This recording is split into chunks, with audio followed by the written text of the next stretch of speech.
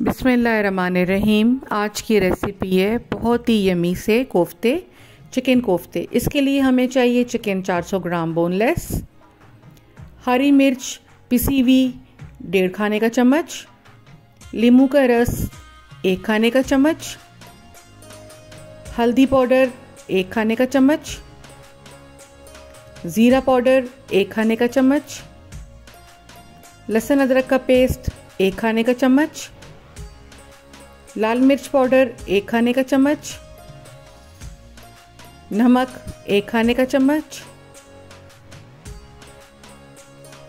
सूखा धनिया, एक खाने का चम्मच। प्याज, चॉप की भी एक खाने का चम्मच। इसको मैंने दबा के पानी निकाल लिया था प्याज़ों का। अब पुदीने का पत्ता तकरीबन दो चम्मच और धनिया तीन चम्मच। ब्रेड क्रम्स चाहिए एक कप। अब इसको हमने चॉप करके एक फाइनल फाइन सा पेस्ट बना लिया है। इसको हमने छोटे छोटे जितने आप कोफ्तों का साइज़ रखना चाहते हैं, ये बॉल्स बना लीजिए सबके। लीजिए, मज़ेदार से बॉल्स बन गए अब एक अलग पैन में हमने ऑयल लिया है, एक कप इसके अंदर मैंने ये प्याज काट के डाल दिया, एक बड़ी प्याज थी। इसको मैं गोल्डन ब्राउन कर लूँगी। ये गोल्डन ब्राउन करके मैंने निकाल ली है।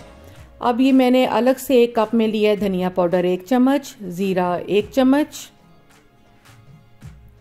गरम मसाला, आधी चम्मच, लाल मिर्च पाउडर, एक चम्मच, हल्दी, एक चम्मच, नमक, एक चम्मच, और तकरीबन एक प्याली दही की है। और वो जो मैंने पहले प्याज रेड की थी, उसका पेस्ट बना लिया था। हमने जो प्याज ब्राउन करके रखी थी, उसका पेस्ट बना लिया था।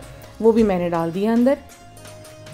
अब जिस तेल में हमने प्याज फ्राई की थी, उसी तेल में मैंने लहसुन अदरक का पेस्ट डाला एक चम्मच।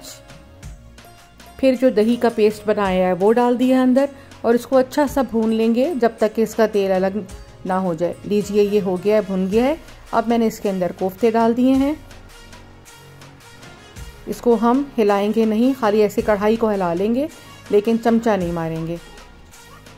अब इसके अंदर हमने बॉयल अंडे डाल दिए हैं, जितना आप चाहते हैं, और साथ में हरी मिर्चें डाल दी हैं। अब इसको पाँच मिनट का दम देंगे तो कोफ्ते तैयार हैं।